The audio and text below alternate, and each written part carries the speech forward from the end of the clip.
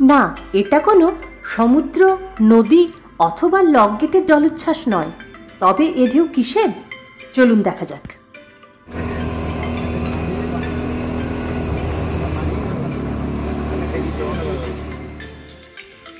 ট্রেনে করে এসে ব্যান্ডেল স্টেশনে নেমে আমরা এখন যাচ্ছি অটো করে। আর এই অটো করেই আমরা পার হব ব্যান্ডেল সাবওয়েটি। সাবওয়ের কি অবস্থা হয় বর্ষাকালে জল জমে? চলুন তারই একটা টুকরো চিত্র এখন দেখানো যাক। অবশ্য শুধু বর্ষাকাল নয়, যে কোনো ঋতুতেই একটু ভারী বৃষ্টি হলেই ব্যান্ডেল সাবয়ের এই রকমই চিত্রই দেখা যায়।